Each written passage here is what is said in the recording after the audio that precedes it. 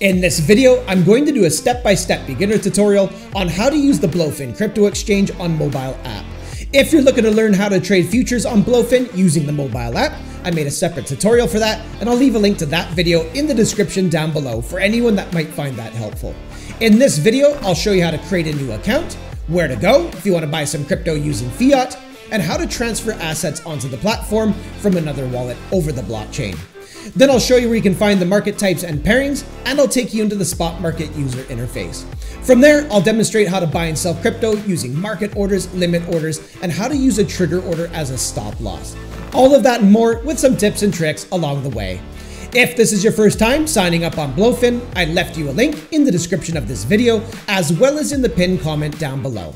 Blofin is often running promotions for people who are signing up for the first time. These can be nice deposit bonuses, giveaways, airdrops, and more. If you use my link when signing up, you'll be eligible for the current promotion, whatever that might be by the time you're watching this video. You'll also save 5% on all your trading fees for the lifetime of your account. So if you use my link when signing up, You'll be eligible for the current promotion, you'll save 5% on all your trading fees, and you'll be supporting my channel at no extra cost to you. This video is not financial advice. This video is for educational purposes only. Always do your own research before ever using a crypto exchange, including Blofin. I also left you some timestamps in the description down below, so at any point, feel free to skip ahead to a section that might be most relevant to you. Aside from that, don't forget to leave me a like and hit subscribe for future content. Let's get into the video. If you'd like to save 5% on all your trading fees for the lifetime of your account, just come down here to the pinned comment and click on this link right here. Then you'll be redirected to this page where you can create your Blofin account by using an email or a phone number. So simply choose an option that makes the most sense for you. Then come up with a good password, make sure to read through the terms of service, check this box here, then click on sign up. If you're watching this video on your phone, just come down here, tap on comments, and then tap on the link in the pinned comment right here. And once again, you'll be redirected to a page where you can create an account by simply using an email or a phone number. Once you're ready to create your account, come down here, tap on this box, then tap on sign up. Now, at the time of recording, KYC and VPNs are not necessary to use the Blofin platform, but that could change in the future. So towards the end of this tutorial, I'll show you where to go to get verified just in case it becomes necessary by the time you're watching this video. When you sign into the Blofin crypto exchange from your computer, you can come to the home page by simply clicking on the Blofin logo, top left hand side of the screen. Right here below Trade Now, you'll find a QR code icon. If you hover your mouse over top of that, a QR code is going to drop down and you can scan that QR code with your phone in order to get the app. But I'll also point out that you can get the app from the Google Play Store and you could also get the app on the Apple App Store. So simply download the app to your phone, install it, and then sign into your Blofin account. And I'll see you on the next step of this tutorial.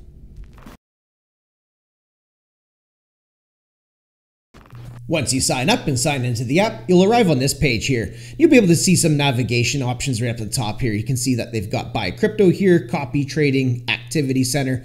But if you scroll all the way over here, you'll see a section that says rewards. If you tap on that, this is going to bring you into the rewards center where you can claim some bonuses. And as you can see, some of these are nice and simple. You can get two tether for first deposit, first trade is two tether. Some of them aren't very meaningful, but there are some nice deposit bonuses if you scroll down. And those are the ones that typically benefit users the most. Now, if you scroll all the way to the bottom, you'll find some notes down here and you can read through these, see what some of the terms and conditions are regarding some of these bonuses. So make sure to come on in here. If there's any of these tasks that you're going to be completing anyways, just make sure to come in and claim your bonuses. And also keep in mind, if you use my link when signing up, you're also going to be getting a 5% discount on all your trading fees for the lifetime of your account. So I'm just going to go ahead and tap here on the back button.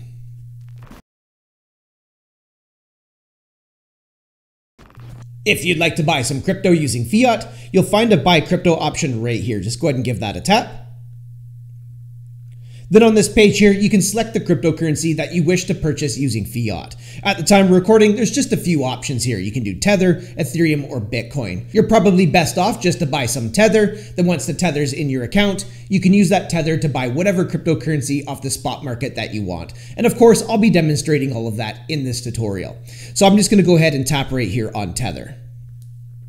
Then on this page here, simply type in how much you wish to spend on crypto. So I'll do something like this. Then you'd come down here and tap where it says buy. Now on this page here, you can choose your payment method. And these are third-party service providers. They can be convenient, they're perfectly fine, but there are a few things to know about these. The first thing is, is that you'll have to create an account with the service provider that you select. And during that process, you will have to go through KYC. So you're going to have to submit a government issued document such as a driver's license or passport in order to verify your identity with that third party service provider. Once that's complete, you can attach your payment method, complete your purchase, and then your crypto will be sent into your Blofin account. Now, I'll also mention that at least at the time of recording, the fees for using some of these service providers are not the most competitive. So if you're purchasing a larger amount of crypto, you're probably better off to buy it on a centralized exchange and then just have that tether transferred into your Blofin account. And from there, you can trade on the spot market. But if you want to use one of these, you just simply tap on the service provider that you wish to use. Blofin will likely be showing you the best deal up at the top. So in my situation here, that would be Alchemy. So what we would do is we'd come down and tap on buy USDT. Then we can confirm our order right here. If everything looks good, we come down here, tap on this little box, and then we tap on buy USDT. And as you can see, Blofin is now redirecting me over to Alchemy. So here's where you'd have to create your account with the service provider, go through KYC, attach your payment method to complete your purchase. Once your purchase is complete, that third party service provider will be sending your crypto into your Blofin account. And that can take a little bit of time. So I'm just going to go ahead and back out of here just like so. Now, once your funds arrive on the platform, you'll be able to find them in your funding account. And to get there, we'll come down here, bottom right hand side of the screen, we'll tap here where it says wallet. And this will bring you to an overview of all your accounts on Blofin. So down below under accounts, you can see all the accounts here. So you have funding, futures, spot, copy trading, as well as earn. And your funds will be in the funding account. So we can either tap on funding underneath accounts, but you'll also find it up here next to overview at the top of the app. So we'll just tap on funding, and here's where you'll find your funding account. And this is where your crypto will arrive if you purchase it using a third party service provider.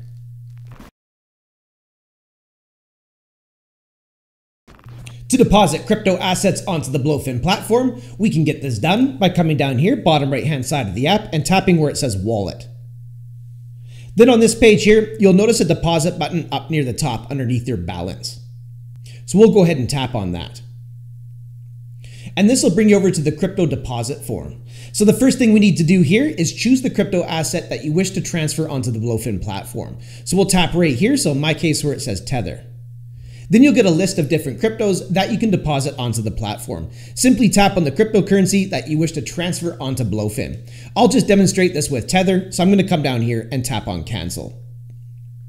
Next, you'll need to choose a network to do this transfer over. And we can do this by tapping right here where it says network. Then Blofin will give you a list of networks that it currently supports. Now, some of these networks are going to be less in fees and faster than others. But the main thing is make sure that you match the network on both sides of this transfer. So wherever you're sending the crypto from, make sure that platform supports the network you wish to use and that you select it and match it to the network here on Blofin. If you send from one network into another, you will lose your coin. So that's a very important step. So for this demonstration, I'll demonstrate with the BEP20 network, which is the Binance Smart Chain. Sometimes it's called BSC. So I'm going to go ahead and tap on that. Now Blofin is generating a deposit address for Tether over the Binance Smart Chain. And I can see my address down below. You'll see a QR code. So if you're doing this over a smartphone, you can always scan your QR code. But for this demonstration, I'm going to simply copy my deposit address by tapping right here on copy. And what I'll do is I'll demonstrate by sending some Tether from my MetaMask wallet onto the Blofin platform. So I'll bring MetaMask into frame. Now that I'm on my MetaMask wallet, I'm going to have to toggle this to the Binance network. Remember, on Blofin, I selected the Binance network. And inside my MetaMask wallet, that's exactly where I have a small amount of Tether. So I'm going to come up to the top of the app where it says Ethereum mainnet. I'm going to tap on that. And I'm going to select the BNB Smart Chain. Now I've toggled my MetaMask wallet to the Binance Smart Chain. And as you can see, I have a very small amount of Tether inside my MetaMask wallet on the BNB chain. Now the network matches. So I'm sending this Tether out of MetaMask on the Binance network. And of course, the deposit address that I selected on Blofin is for the Binance chain. Now, if you're doing this from an exchange or another wallet address, just make sure to match the network. So if you're sending from Coinbase or Kraken, just make sure to select the network that you selected on Blofin. So now what I'm going to do is I'm going to come down here, tap on these two little arrows. I'm going to tap right here where it says send crypto. And now I'm going to paste in my Tether deposit address for the Binance network on Blofin into this box right here. So I'm just going to hold down and paste. Now I'm going to come down here and tap on next. Now up at the top where it says BNB, I'm going to tap on that. And now I'm going to tap on my tether balance, just like so. Now I can choose how much of this tether that I want to send from MetaMask over to Blofin. I'll just go ahead and tap on use max. And I'm going to come down here and tap on next. And now I can review the details of this transaction. And because I'm doing this from MetaMask, which is a decentralized wallet, I'm going to have to pay a gas fee for this. Now, when you're using MetaMask, the gas fees paid out of the native token for the network. So I'm currently on the Binance Smart Chain and the native token is BNB. So I have to have some BNB inside of MetaMask on the Binance Smart Chain to cover this gas fee, which I do. So whatever network that you're using, just make sure that you have some of the native token of that network to cover the gas fee for this transaction. Now, if you don't have a MetaMask wallet, I do have a step-by-step -step beginner tutorial on how to set up and use MetaMask. So I'll be sure to leave a link for that video in the description down below for anyone that might find that helpful. So I'm going to come down here and review the details of this. I can see my estimated gas fee rate here, which is only 0.0000155 BNB in order to cover the gas fee to confirm this on the blockchain. And that's a very small fee. And that can be the benefit of using some of these other networks versus the ERC20 network. So this looks perfectly fine to me. I'm going to come down here and tap on send. Now that transaction is submitted and soon the Tether will be on its way from my MetaMask wallet on the Blofin using the BNB Smart Chain, which is known as BEP20 or BSC. And now the transaction is complete. So I'll go ahead and bring Blofin back into frame. Now, once the tether arrives on the platform, we'll be able to find it in the funding account. So to get there, we're going to tap on the back button, top left-hand side of the screen. And that brings me back to the overview of all my accounts. And as you can see, my balance just got updated to 196 Tether. And if you look under accounts, you'll see where it says funding, my Tether has arrived. If we tap on that, this brings me into my funding account and you can see my Tether right up at the top there. So just remember, Wherever you're sending the crypto from, whether it's a different wallet or an exchange, just be sure to match that network. You don't want to send from one network into another or you will lose your crypto. And also a quick tip with this. If it is your first time sending assets onto Blofin, just send a small amount first. When the smaller amount arrives, as you intended, then you can have the confidence to send in larger amounts.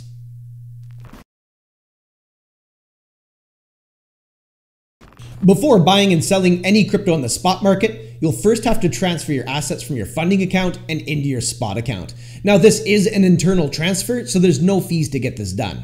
So to transfer our assets, we're going to come down here, bottom right hand side of the app. We'll tap where it says wallet.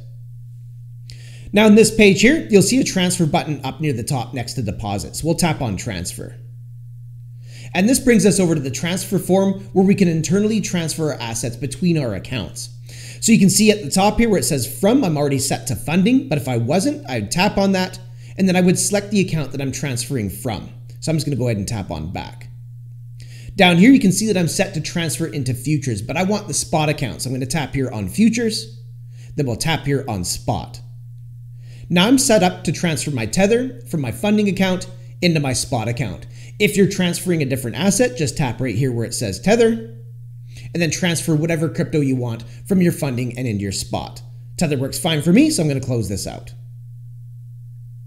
Next, we'll choose how much of the asset we want to transfer into our spot account. You'll be able to see your available balance right here. So if you want to transfer a custom amount, just tap on this box and type in how much you wish to transfer. If you want to transfer all of it, just simply tap right here on max. Now I'm going to go ahead and tap here on done, and I'll tap down here on confirm. And success! I transferred those assets from funding and into spot. So now we'll come back up here, tap on this button, and now you can see I'm back to the overview of my accounts, and now my assets are in the spot account. If I tap on spot, we can now see the tether inside my spot account up at the top here.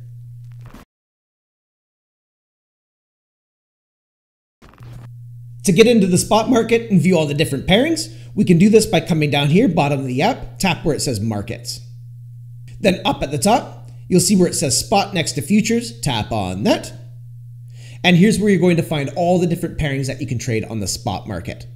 At the time of recording, all of these pairings are quoted in Tether.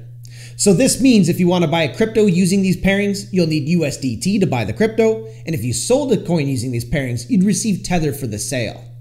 In the future, there might be more market types, and you'll likely find them displayed up at the top here. But for now, the tether pairings is what you have access to on Blofin. So simply tap on the pairing that you wish to trade, or you can search for a pairing by tapping on the search icon right here. Then just simply type in the ticker of the pairing you wish to trade. So I'll tap right here and I'll just do BTC, which is Bitcoin. Then if I scroll down here, you can see under where it says spot, that BTC USDT comes up right there. So I'm going to go ahead and tap on that. And this will bring you into the spot market user interface where you can buy and sell on the spot market.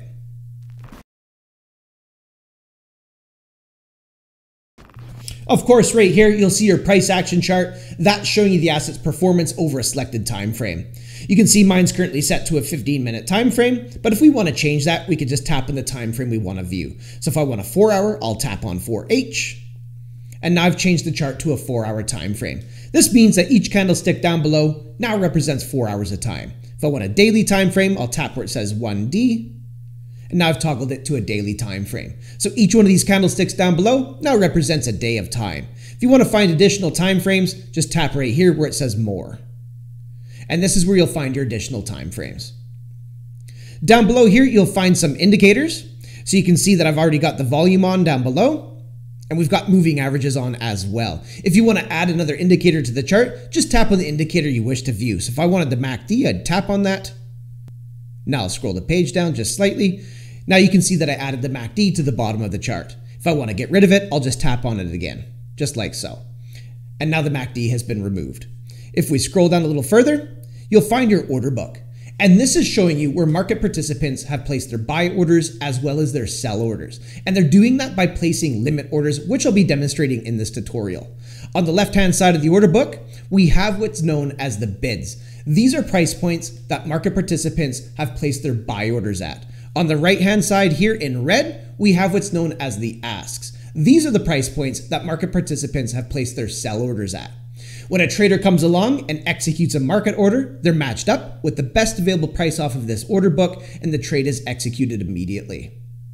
If you want to see those trades being executed immediately, you can tap right here on trades. And here's where you can see trades being executed in real time. All the buys are coming in in green and all the sells are coming in in red. If you want to get back to the order book, just simply tap on order book.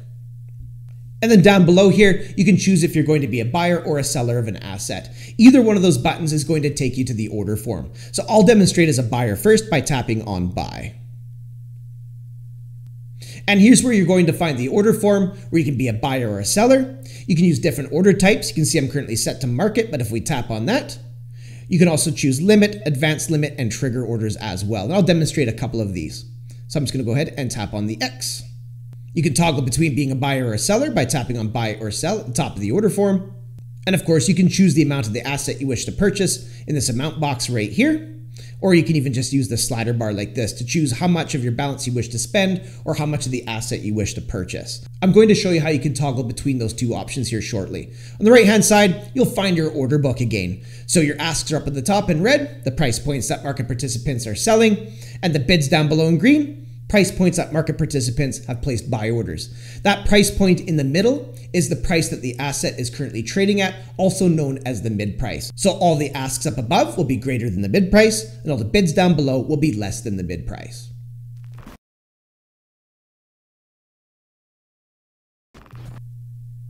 So first I'll demonstrate a market order. These order types are nice and simple. They'll execute immediately at the best available price off of the order book, whether you're buying or selling an asset.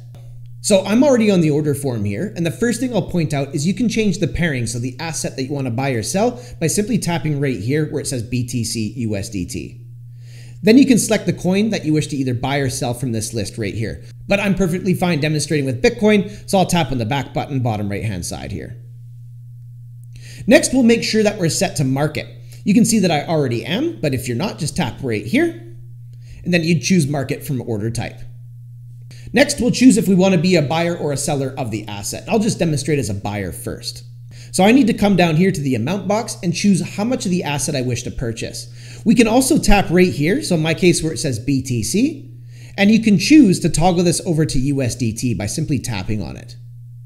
Now I've set this box to be quoted in Tether, so now I can simply choose how much of my available balance that I wish to spend on the asset. So choose whichever method is best for you. Right here, you'll be able to see your available balance, so you'll know exactly what you're working with. So if I want to spend $100 on Bitcoin, I tap here on the total box, and I just type in 100 Tether like so. Then I would tap on done. Alternatively, you can use a slider bar right here, and you can slide this wherever you want. So if I was to slide this up to 52%, that would put 52% of my available balance into this order. If you slid it up to 100%, that'd put your entire balance in. For this demonstration, I'll just go ahead and do 100 tether just like so. I'll tap on done. And once you have your market order set the way that you want it, you just tap right here on buy. Now you'll get an order confirmation so you can confirm the details are what you intended. This looks good to me, so I'm going to come down here and tap on confirm. And just like that, I bought some Bitcoin at the best available price off of the order book. Now, if you want to use a market order to sell, we'd come up here, we'd tap on sell, make sure we're set to market. Then we can come down here, tap where it says USDT. I'll switch this back to BTC. And now I can choose how much of my Bitcoin that I wish to sell in this box right here, or I can just use the slider bar. So I'll go ahead and just slide this up to 100%. That means I'll be selling all of my Bitcoin and then I'd come down here and I would tap on sell. You'll get order confirmation, confirm the details are what you intended, and if they are, tap here on confirm. And just like that, I sold my Bitcoin at the best available price off the order book. So nice and simple.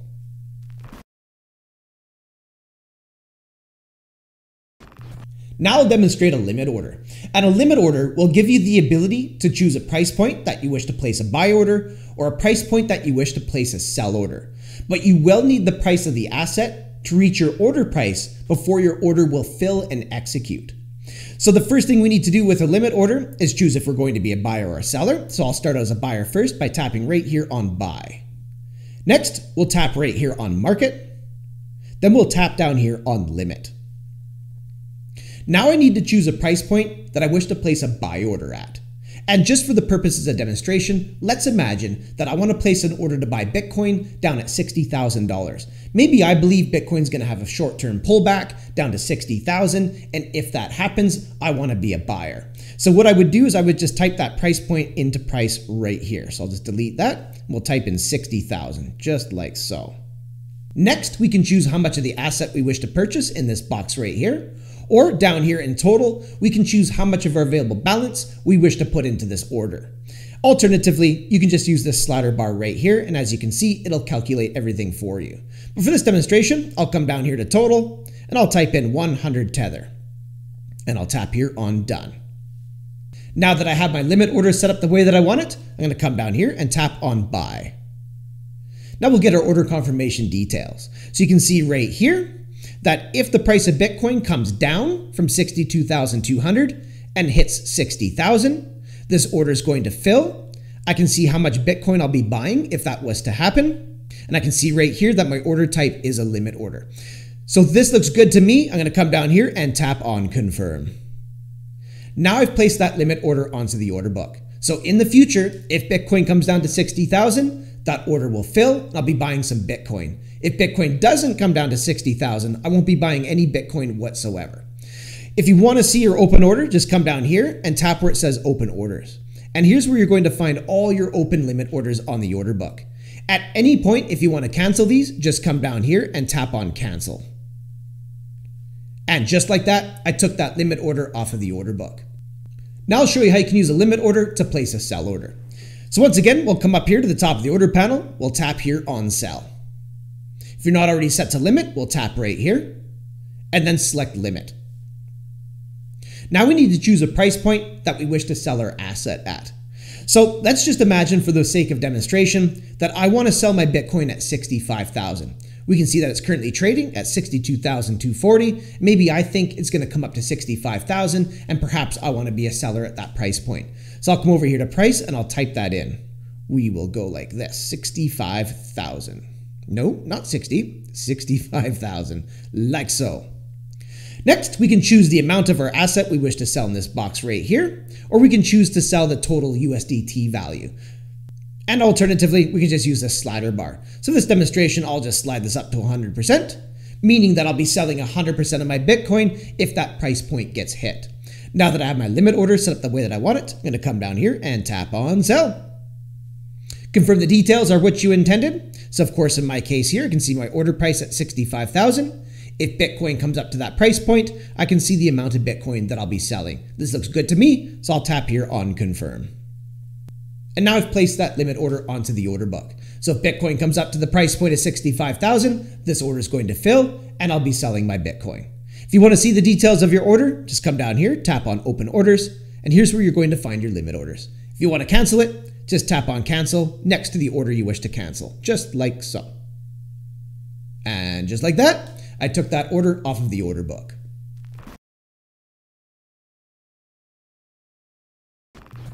Now I'll show you how you can use a trigger order as a stop loss on the spot market. So the first thing we'll do is we'll come up to the top of the order panel, make sure we're set to sell. Next, we'll tap right here where it says limit. And this menu down here, we'll tap where it says trigger. Now we're ready to set up a trigger order as a stop loss. So the first thing we need to do is choose a price point that's going to trigger Blofin to sell our crypto for us. So in this particular situation, we can see that Bitcoin's trading at 62,303. And for the purposes of demonstration, let's imagine that I want to set a stop loss somewhere just below 60,000, maybe something like 59,990. So what I'll do is I'll come up here to where it says trigger. I'm going to tap on that and I'll type that price point in. So we'll go 59,990.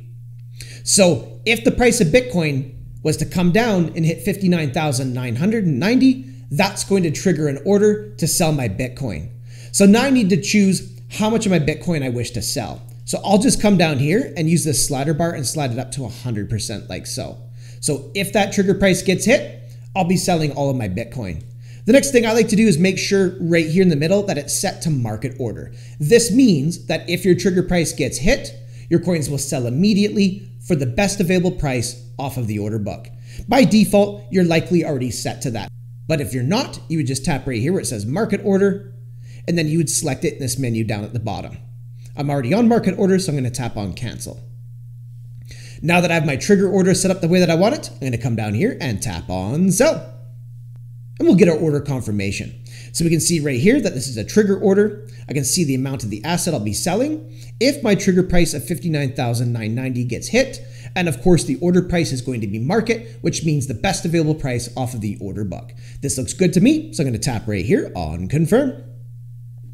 Now I've set up that trigger order as a stop loss on the spot market. If you come down here to open orders and tap on that, that's where you'll find the details of your trigger order. So in the future, if Bitcoin does get below 60,000, hitting 59,990, that's going to trigger this order to sell my Bitcoin at the best available price off of the order book. At any point, if you want to cancel that, you just come down, tap on open orders, and next to your trigger order, tap on cancel. And just like that, I canceled that trigger order. Now, when you're done doing all your buying and selling, you'll be able to find your assets in your spot wallet. And to get there, You'd come down here, tap where it says wallet. Then you'd come up at the top, you'd tap on spot. And here's where you're going to find all your assets that you're buying and selling on the spot market. As easy as that.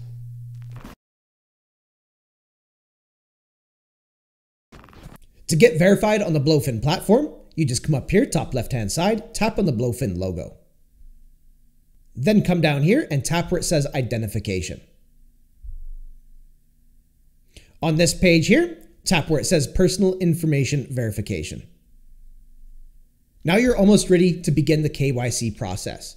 So for this process, you're going to need a government issued document, such as a driver's license or passport. You're also going to need to take a selfie.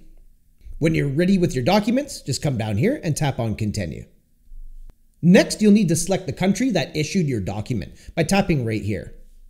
Then select it from this drop-down menu, or you can search for it in the search bar. After that, tap on the document that you're going to be using to verify your identity.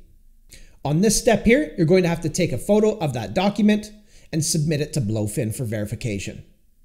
Once Blofin has had the chance to verify your documents, you'll be all set and your account will be verified. And there you have it, your introduction to using the Blofin crypto exchange on mobile app. If you got some value out of that, don't forget to leave me a like and hit subscribe for future content. Also, feel free to check out my other Blofin tutorials, which I've put together in a playlist on my YouTube channel.